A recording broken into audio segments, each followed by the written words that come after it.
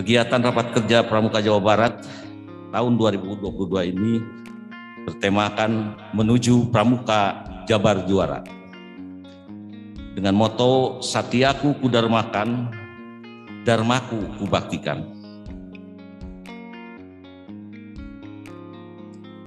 Waktu dan tempat pelaksanaan pelaksanaan Rakerda 2022 dilaksanakan secara hybrid pada hari ini Selasa 17 Mei 2022 bertempat di Sekretariat Kuartir Daerah Jawa Barat.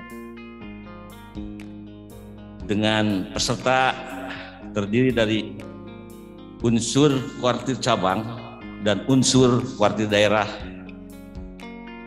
Kakak-kakak yang saya banggakan, eh, rapat kerja itu adalah cara kita menyiapkan sebuah perencanaan satu tahun ke depan dengan baik.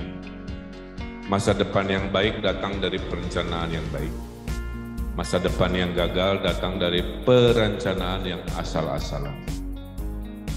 Jangan sampai kita masuk golongan yang rugi, yaitu terlihat sibuk tapi tidak memberikan dampak.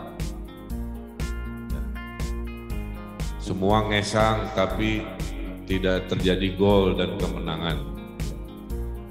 Nah itu kelompok yang rugi. Oleh karena itu rapat kerja ini harus disusun dengan baik. Satu, sesuai tentunya dalam rel visi misi uh, selama masa jabatan. Dua harus relevan, jangan dunia menuju ke mana, ya sibuk di mana, ya kira-kira harus begitu.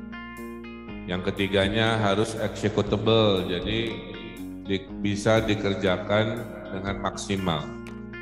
Yang keempatnya harus memberi dampak luar biasa kepada citra pramuka.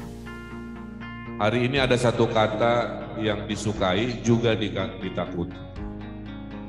Kira-kira kata apa? Nah, kata viral.